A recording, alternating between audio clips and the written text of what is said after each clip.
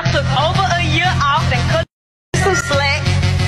Tell a friend to tell a friend.